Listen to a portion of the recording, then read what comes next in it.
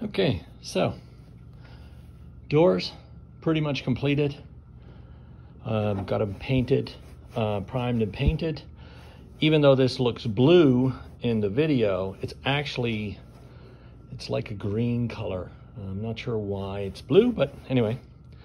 But on here you can see, I haven't cut these off yet. I need to cut these. The blocks are just laid in place. this is the center cam of course, the mechanism, and then the other block and the pin out this side.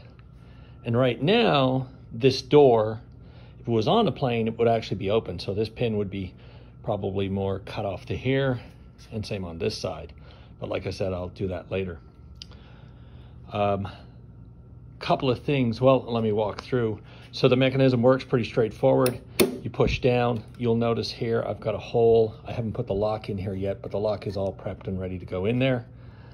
But uh, you push down on the button, you rotate it, and you can see on this end, the pin comes out. It also came out on the back. And if you watch, you can actually see as I rotate this, how the cam works. So now it's unlocked and that's the position it is in. You'll see here I've got uh, a wire, the safety wire is still on here for the pin that attaches this shaft to uh, the rod, the, uh, the the gear rod that goes through here. One of the things that's a little different is you're building this using basically three different plans if you're doing it the way I'm doing it, which means you've got Vans who's talking to you about how to do it for the Vans stock door. You have this 180 degree uh, door mod for the safety lock. And then because I'm using low profile door handles, I'm also doing the low profile door handles. So what that means is there's a few things that you have to do a little differently.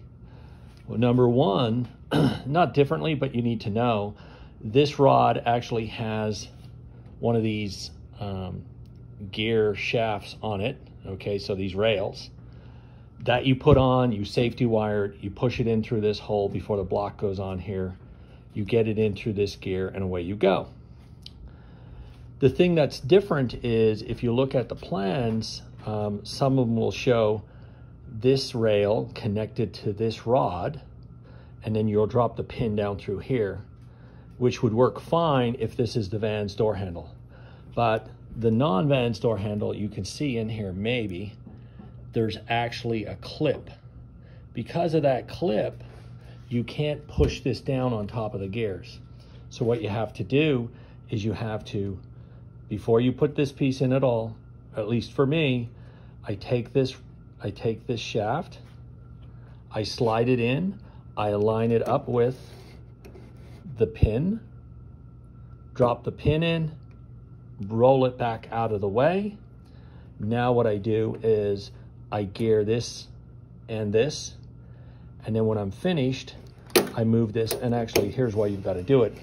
When you're putting this gear in to begin with, you're gonna start with it really in this position and you'd keep going down. Well, it won't go back far enough to be able to do that. So you have to have this stand alone. And then what you do is you rotate it, you get it aligned to uh, the timing you want. And uh, it's pretty straightforward. Actually, I followed what Van's instructions had. Um, no, I find, followed what the, the 180 degree lock had and it worked really well the timing was pretty close. And it doesn't need to be perfect, especially if you haven't cut these yet. You're gonna adjust the length of them anyway. But um, what happens is if, if you rotate this, so once you put it in, you're then gonna rotate it forward like this. You'll now see there's a hole. I haven't put the pin in here yet that goes into this rail, but you drop the pin in here, then you safety wire, that's done, and you're good to go but that was a little tricky. It wasn't clear that you had to do that. Um, it is if you go to the low profile door handle instructions. If you go to the 181, it's based on the standard Vans handle. So just something to keep in mind as you go through this. Also, the openings here are quite large. Um, when you put the pin in here, it's got a little top to it, it's got a bottom, you got a safety wire. You really need to have clearance. And so I pretty much sanded this almost to the top um, to make it just flush on the inside. you want to have lots of clearance so you don't get any binding and you'll notice here it works you know, it works really well. So that's uh, that's what you want to get it to. This is just temporarily screwed in here like I've got these dropped in. Uh, I still need to go do some countersinking on it. And uh, I need to I wasn't going to but I think I'll bend these these rods just a little bit because the door is curved and Vans get you to do it so I thought well I may as well do it if I if this block wasn't here, you'd see, well, actually, let me just pop it out and I'll show you. So if I take this block out, other than it's also scratching up my paint, you'll notice that it's sitting really flat to the front of the door. That's because it wants to be straight. If you bend it, it'll curve up. Again, I don't know that it really matters that much, but I figure for the sake of just bending it a little bit, it, it's not that hard. So I may as well do it. Um, and I'll do it for both. They're both the same. But that's it. Um, it's ready to go. Like I said, uh, it looks really good with the low handle door, uh, the low profile door handle on here. Pretty pleased with that. this is uh, Stewart Systems uh, paint. So it's a water-based paint and it, uh, it worked out really well. The primer was just water-based primer, scuffed it up a little bit. Then I put this on the paint and that paint is actually a, it's, you do three parts. You have the paint itself, you have the catalyst, and then you have some water that you add to it as well. Uh, this has now been dried for about, uh, I'm guessing about a couple of days, but uh, as you can see, it came out, I think, pretty good, especially if I have no idea what I'm doing when it comes to this stuff. So I was pretty happy when it when it painted on here. And again, for me, I'm painting it so that on the inside of the cabin, I just didn't want to have, you know, rough looking fiberglass anywhere. I'll probably put panels in and such, but at least if there's a gap in the panel or anything, there'll be a color behind it so it'll look uh, it'll look very consistent and pretty professional. But that's it. So yeah, you just away you go. Oh, uh, one other thing I might as well mention: this safety pin.